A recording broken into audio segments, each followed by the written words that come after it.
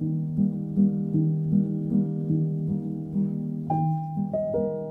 So I'm originally from the UK, moved here about eight years ago, and we recently moved to Bundaberg for my husband's work. And I was really happy when he got that role because we come up here and visit a lot to go to Lady Musgrave and Lady Elliot. So yeah, it was really awesome to finally get my official citizenship at the ceremony. It's been, um, it's been a long time coming. It's really special to acknowledge the traditional owners of the land that I am now very lucky to work and live on um, and to be welcomed to this amazing country. Pretty amazing lifestyle. Like, yeah, you wake up and you're five minutes from the beach. Um, it's surrounded by nature. You can go and walk along the beach. There's also still so many awesome nature trails and things. And yeah, it's very relaxed and it's a really nice community vibe here too. Everyone seems to know everyone and is really friendly, and that's really been nice too. I feel really welcomed in the community here.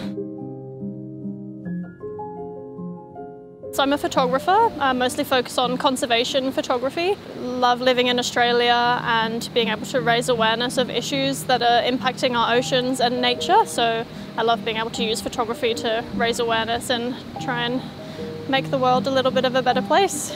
It was pretty much when I moved to Australia and I started diving and I really wanted to capture what I was seeing. It's like an, another world under there. So um, yeah, I really wanted to learn photography so I could keep those memories and show other people who aren't as lucky as me to live in places like this. Really showing people what's going on under there. It's amazing.